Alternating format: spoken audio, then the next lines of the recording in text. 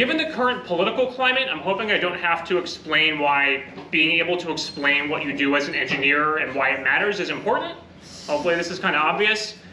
And this isn't just um, for people doing research in academia who need to kind of justify to Congress or the public, okay, why should your tax money fund my research?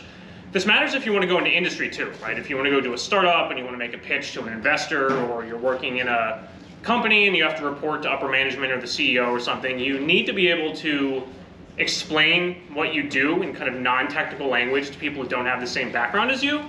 And I have found that events with kids are actually a really good way to practice that in kind of a lower stress environment where there isn't money or your job on the line or something.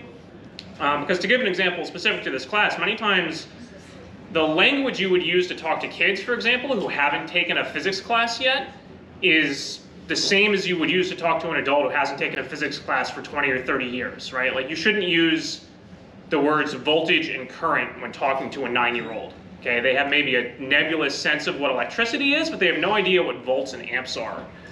And the same thing is true for adults, right?